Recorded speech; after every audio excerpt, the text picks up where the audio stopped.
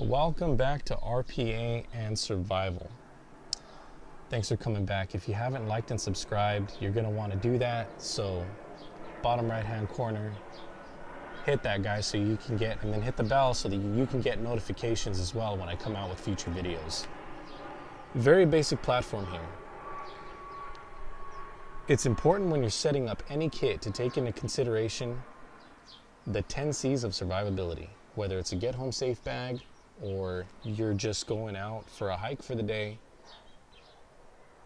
Have the 10 C's of survivability on you or survival kit. First one is cover. This that you see here, this bed is backing, this is an emergency shelter. A tip, when you're going out, always take orange with you. If you're in a survival situation, you'll want your cordage to be orange and you'll want your uh, cover to be orange as well. Okay? The underside here, you can find this on Amazon, um, has this reflective material so that when I get a fire going, it's going to reflect that heat back towards my body. When setting this up, it's important to have redundancies, meaning two is one and one is none. Don't have just one of each item on you guys, okay?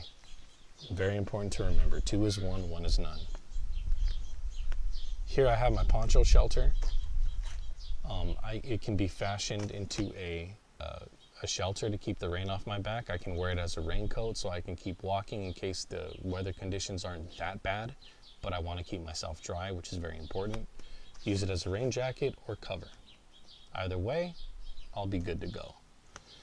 Cordage, remember, make sure your cordage is orange. I have green here uh, for covert reasons, especially for a get home safe bag. You know, I'm not going to want to be seen in a time like that. So I'm going to want everything to be blending with the earth, right? I have a video on how to set this up.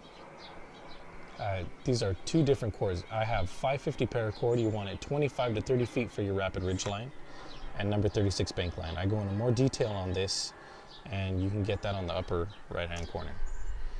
Next is container. I have the Pathfinder Canteen Cook Set developed by David Canterbury of the Pathfinder School. And you always want your containers to be steel. Why do you want them to be steel? So that you can purify your water, so that you can make char cloth out of your cotton bandana or even your clothing. You can make char cloth, uh, cloth um, to spark future fires. All you got to do is strike your rod against that. I'll make another video on that.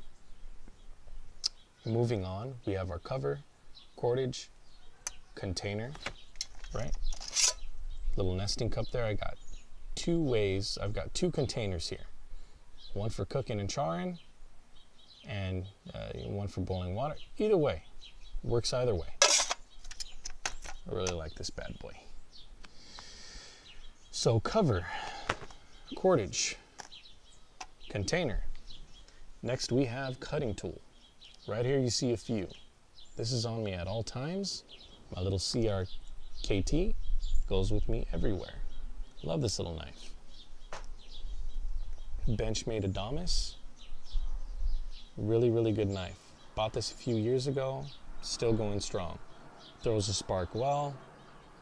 I love this knife. Acts as a good bearing block as well, in case I need to fabricate a friction fire. remember guys, if you have to start a fire by friction, you've done something wrong. It means that you have not carefully set up your survival kit. Okay, if you need to go to primitive lengths, you've done something wrong. So anyway, the Benchmade Adamas. Geotech Model 29. Another great knife, which you can find on Amazon. It's got a nice sheath. It throws a spark like a champ. And it has this nice little end here, which I use on my ferro rod to throw a spark and get a fire going. So that's nifty. That's great. Geotech Model 29. Always on me for survival and bushcrafting. So we have cover, cordage, container, cutting tool, nice little axe, little hatchet. My dad gave me this. Really love this thing, guys. This thing is awesome. I just uh, I finished sharpening it, the, sharpening it the other day, so it's the thing is real sharp, guys. and it has this really cool little divot in here for uh, for bush pots. Take it out of in and out of the fire, so I don't burn my hand. So there's that. Next is a compass. Have a good compass on you. This is the Suunto. Okay, know where you're going. It's got know how to use it, and it also has this uh, little magnifying lens here, which can also be used for sparking fires.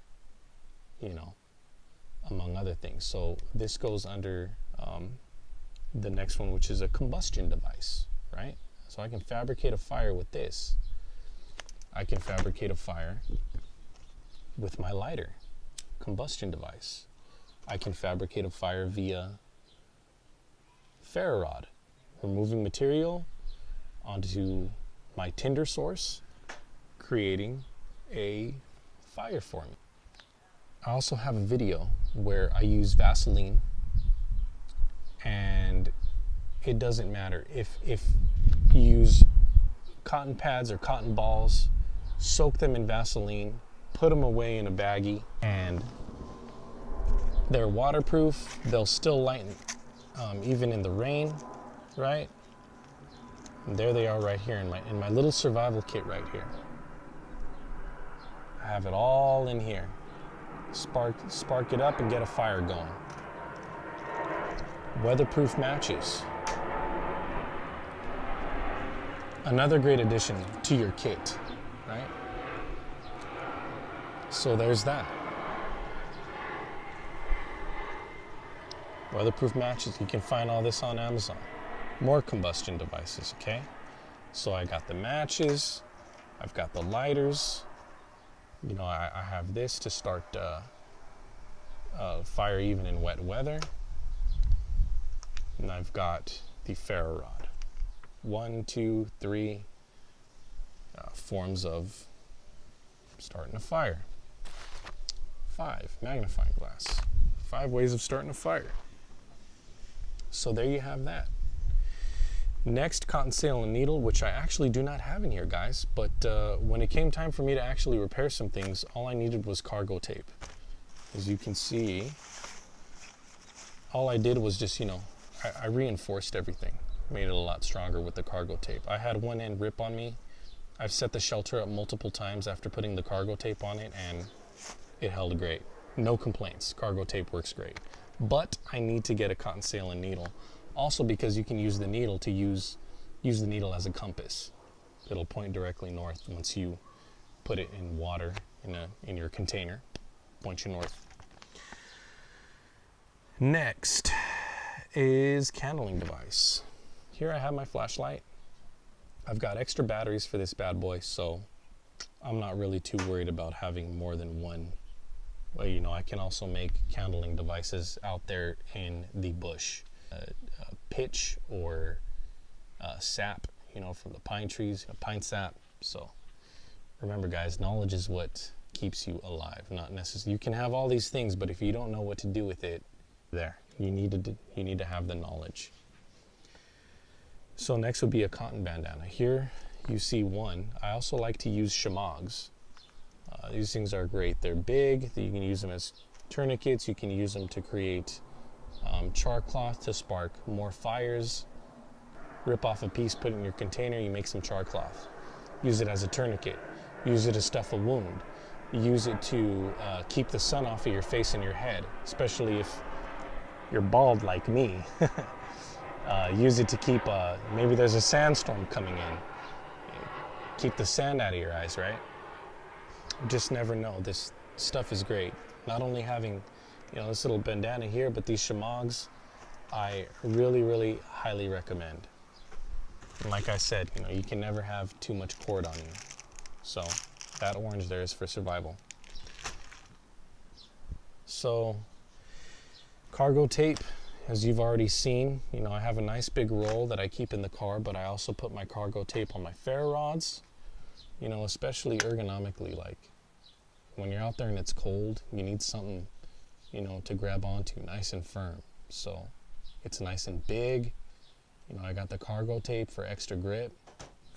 But I also put cargo tape on my lighters. It's about 15 feet of tape on each uh, on each lighter there. So that's nice. Well, there you have it, guys. Those are the 10 C's of survival. Whenever you're making a survival kit, always take these things into heavy, heavy consideration. Have them, have them, have them, have them. And redundancies. Two is one, one is none. Like, comment, subscribe, and look out for future videos. You guys take care.